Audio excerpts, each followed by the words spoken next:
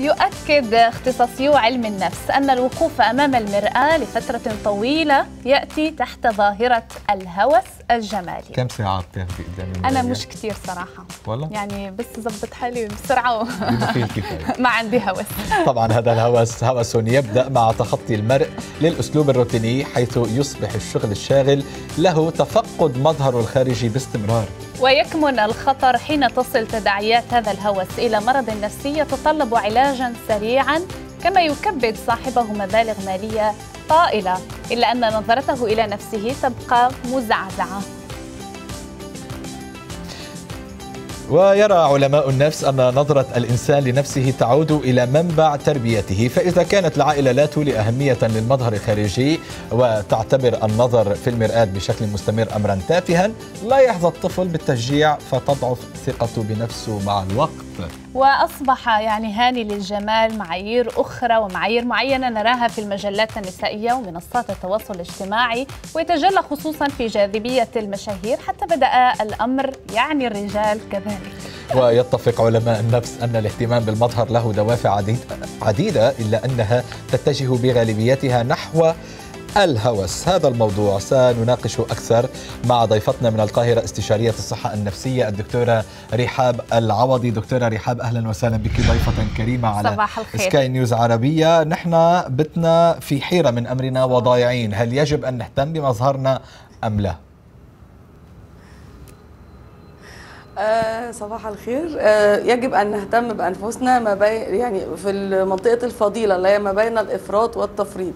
آه الهوس وتكرار الذهاب لطبيب التجميل أو الاهتمام الشديد جدا بالموضة وال ومتابعة أحدث عمليات التجميل. ده هوس طبعا ده مرض بنسميه اضطراب سلوكي أو بنسميه مش انحراف سلوكي ولكنه اضطراب سلوكي إن صاحبه أصلا مريض.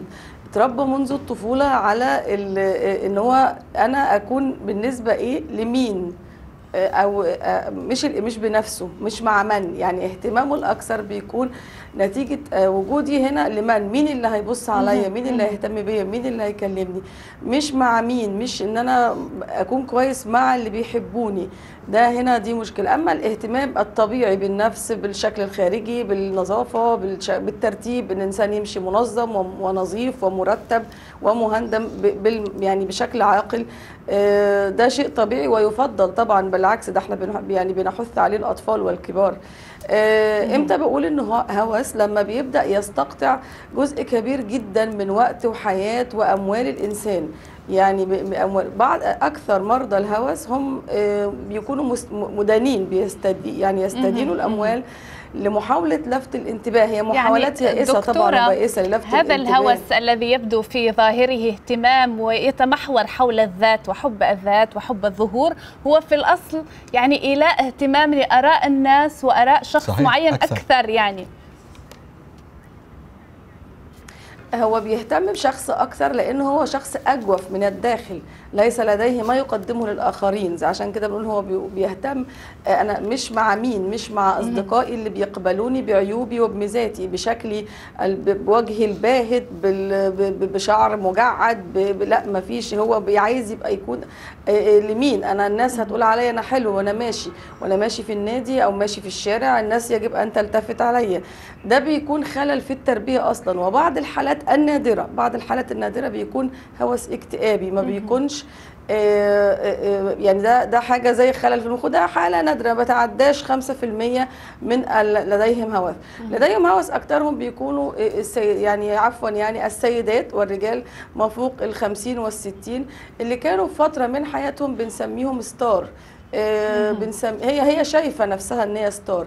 وما زالت تصر أن تكون star أو مميزة في مجتمعها سواء كان يعني بالنهاية آه، نحن آه، أمام يعني- مجتمع ونحن ضحايا لهذا المجتمع بشكل عام. ولكن أريد أن نتحدث هنا عن فكرة جديدة طرأت في العشرة أعوام ضحايا. ال- آه، الأخيرة وهي مواقع التواصل الاجتماعي وفكرة الإنفلونسر المؤثرين. وهذه الصورة النمطية للجمال يلي بتبلش تنتشر واللي ربما يعني ليست حقيقية ولكن هذا الموضوع يؤدي إلى تقليد عشوائي من قبل الفتيات والرجال على حد يعني سواء. آه، هاني ب- يعني صار هناك معايير موحدة للجمال. يعني صحيح، شفاه صحيح. مبتلئة حواجب مرفوعة شعر طويل. للأسف آه، للأسف. ف- آه، صار الجميع يعني يذهب في خدود. نفس الشكل خدود. ف آه، نحمل المسؤولية ربما إلى مواقع التواصل الاجتماعي اليوم والتكنولوجيا الجديدة. مواقع التواصل الاجتماعي في الأصل هدفها اقتصادي هدفها المكسب. ولهذا إذا وضع الإنسان نفسه في مهب رياح الاقتصاد وال- والفيسبوك وال social media فهو إنسان فارغ وأجوف وليس لديه شخصية كاملة وشخصيته ضعيفة جدا. والشخص اللي تلاقيه بيجري يعني يجري خلف الموضة وال- والسوشيال ميديا ويتابع النجوم وبيحاول يقلدهم هو شخص لديه معدة متلازمات للهوس. متلازمة الهوس. شخص اندفاعي جدا. شخص طلعتينا معقدين يا من كلياتنا المشاهد يعني صار لا محتار مش معقدين والله مش معقدين. يعني الأكيد دكتورة لا، أن أنا بقصد اللي كل يعني يوم يعاني من عايز هذا يغير الهوس من. شكله عشان يعني يعجب الآخر. أكيد أنه بحاجة لا إلى لا، مرافقة مش كلنا ولا نفسية. حاجة إحنا لأن الموضوع يصل في بعض الأحيان ببعض الأشخاص إلى إجراء عملية تجميلية. نفس العملية على نفس المنطقة أكثر من مرة. مرة، صحيح. وفي كل مرة يصاب بانتكاسة لأن ال- يعني النتيجة لم ترضيه. كيف نساعد هؤلاء الناس بالنتيجة طبيا. آه، كيف نساعدهم ونرافقهم نفسيا لتجاوز هذه الحالة الحالة اللي حضرتك تفضلتي مشكورة بالحديث عنها يجب أن يلجأ لطبيب متخصص والمحيطين يساعدوه لأنه هنا بيعاني من فراغ عاطفي شديد جدا من أزمة نفسية بيحاول إخفائها بمحاولة البحث عن الجمال. ولكن يجب أن نلفت انتباهه أن هناك مواطن كثيرة جدا للجمال مثل العطاء مثل الحب للآخرين مثل السعادة في وجود الأصدقاء وجود حيوان أليف. هنا هو بيحاول يلفت بمعنى كده بيدور على حاجة ضاعت منه في مكان مظلم فرايح عند المكان المنور. بيقول لك أنا فينا نور فهدور على الحاجة اللي ضايعة مني. ولكنه ما زالت الشيء اللي ضايع منه في الشارع المظلم. فبالتالي هو أساء لنفسه. وللأسف مريض الهوس أو مش م... إحنا مش بنسميه. مريض ولكن. الإنسان اللي بيعاني من عنده الهوس اضطراب. هو في الأصل ضحية. لا يت... آه إنه لا يت... لا يتجنب بل بالعكس هو اللي بيصرف فلوسه هو اللي بيستدين. هو ضحية. ولكن برضو بنقول للأسف إحنا معايير الجمال بدأت الناس يعني تعليها بدأنا ننظر مش لمعايير الجمال كما تفضل هاني. يعني آه، وسائل التواصل الاجتماعي يمكن لها تلعب. دور آخر إيجابي في هذا في الإطار. التوضيح أن الجمال نسبي ويختلف من شخص لآخر وكل يعني في بالضبط، معايير بالضبط. مختلفة كيف يمكن يعني أن نسوق لهذه الفكرة؟ آه، زي ما زي ما حضرتك مشكورة بتقولي تسوقنا عشر سنوات آه، لل- للجمال وشكله والغمازات وال- والعيون اللي مسحوبة بشكل معين وما إلى ذلك.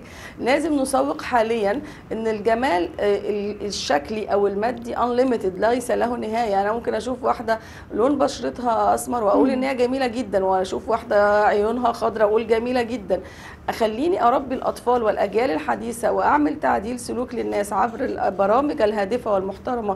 وزي برنامج حضراتكم كده إن أنا دلوقتي بقول للناس الجمال ممكن يكمن في الروح يكمن في الحب يكمن فعلاً. في العطاء. طب دكتورة لكن سؤال أعلم اليوم وهي ربما شخص أعاني من هذه المشكلة وأنا واعي إلى أني ما عم بقدر آه، ربما يعني آه، يعني أتحكم بهذا آه، الموضوع. كيف لي أن أقنع نفسي بضرورة التوقف عن آه، يعني مراقبة نفسي والاهتمام بالمظهر بشكل آه، فيه غلو بعض الشيء؟ آه، هو الشخص بيكون زي ما قلنا بيبحث عن شيء ضائع منه فيجب أن يع- يع- يعني يقوم بعملية استبصار بيعملها له صديق مقرب أو طبيب متخصص استشاري نفسي آه، أو ممكن يشوف برنامج زي النهارده ويراجع نفسه يراجع مصروفاته يراجع إن هو تحول لمسخ بيقلد الآخرين وليست له بصمة ولا في حياته ولا في حياة الآخرين. يجب أن يراجع كل منا نفسه ماذا تركت لنفسي وللآخرين؟ إن الجمال في الأول وفي الآخر هو نسبي ومتعدد و والجمال المزيف أو الصناعي ال ال يعني اللي بيعتمد على عمليات التجميل يعني ما وهنا لا يمكن نسوق قوي للناس يعني مثال هاني. آه، والدكتورة كذلك يعني ملكة جمال الكون مؤخرا والتي بعثت برسالة مهمة جدا بهذا الخصوص. أشكرك استشارية الصحة النفسية الدكتورة رحاب العوضي على كل هذه شكرا التوضيحات. يعطيك أنا الف عافيه ونهارك سعيد. شكرا.